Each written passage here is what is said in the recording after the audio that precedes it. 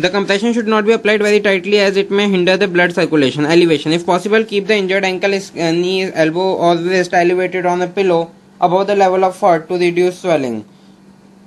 MICE procedure. Once the sign of inflammation have gone and heat, heat and redness are reduced, the MICE procedure should be followed until the injury is healed.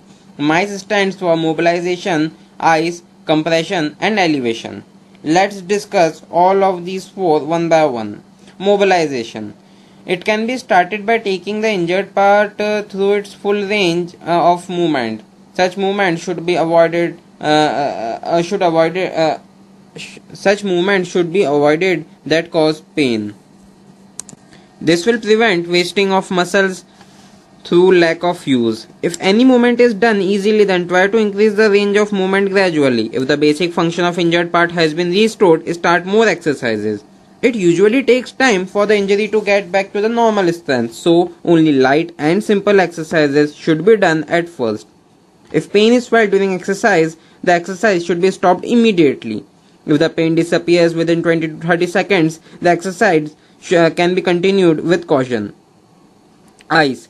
Treatment with ice should continue for about a week according uh, to the severity of the injury. Up, uh, after approximately 4 to 5 days, heat treatment such as hot pads can be applied. It helps in stimulating the blood circulation to the affected area. Compression. This should be continued for a few days and after that it is not required. Elevation. Elevation uh, should be done until all signs, swelling, heat and redness have disappeared. Now let's discuss the sixth category that is strain. Strain is a muscle injury. It can be mild as well as severe. Sometimes the complete muscle can be ruptured. In case of complete rupture, it is not possible to move that part of limb. There may be severe pain along the rupture. There may be many situations during the practice or clash when strain may occur. Management of strain. There is a procedure for treatment of strain that is PRICE. The procedure uh, for treatment is uh, uh, described below.